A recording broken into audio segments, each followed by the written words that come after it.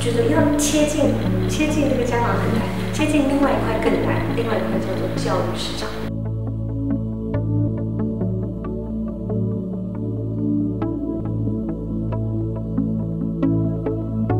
我好像少了一个 bridge。虽然我在销售的是儿童书、儿童书的商品，可是我有很多的概念想跟那个主要的消费者沟通，我接触不到他们，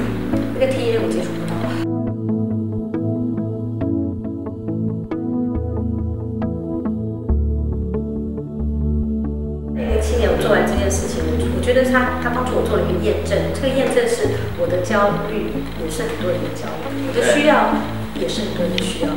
还是在二零零八年开始，那我们开始有媒体，我们媒体就像有个平台，那整个事情跟格规格就开始渐渐的不一样。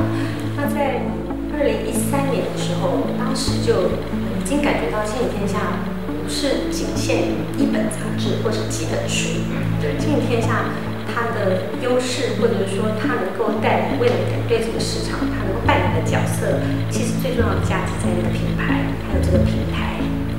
然后原来的呃集团的组织结构没有办法应付我心中想象的那个样子。我心中想象的就是，其实我们是要面对消费者的需求。